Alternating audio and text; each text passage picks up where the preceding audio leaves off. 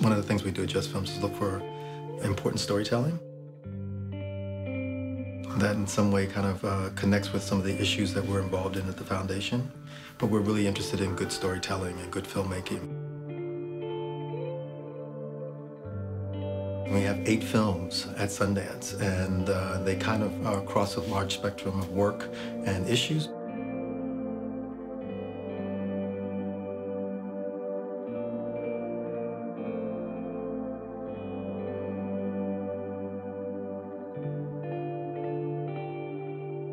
Well, oftentimes social justice issues and the issues that Ford takes on are complicated. And oftentimes when you translate those, those ideas and those issues into films, they're really about people.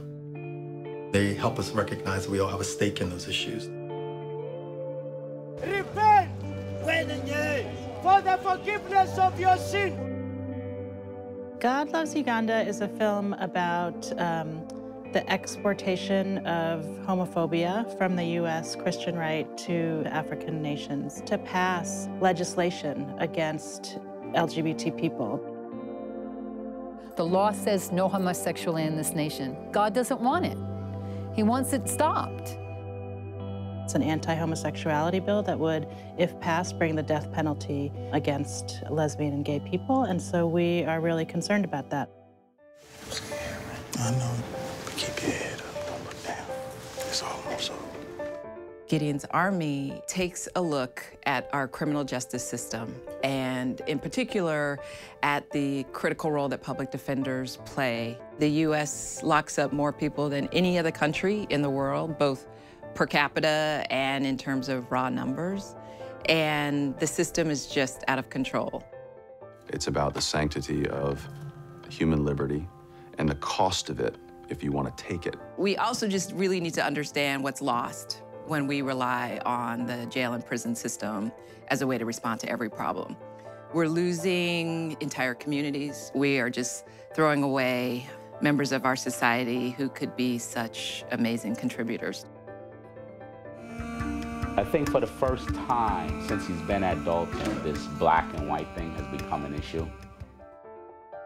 The film follows the story of these two young men uh, who had an amazing opportunity to attend one of the finest private schools in the country and all of the privileges that brings along with it and all of the dilemmas it raises for those families.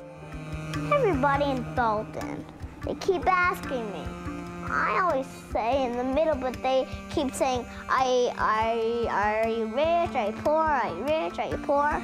As parents of a black male, you know the struggle that they're going to have to face in reality of the way that people look at them and fear them That's when right. they see them. We have this incredible inequality from the richness that you see in the very special opportunity that the young men in the film have to the everyday practice that millions and millions of young men of color experience every day. Stories can activate people. When people walk out of the theater, how are they moved? What are they ready to do? Well, stories and filmmaking has a, an unusual capacity to bring people into the issues. Something happens when you have a good story told.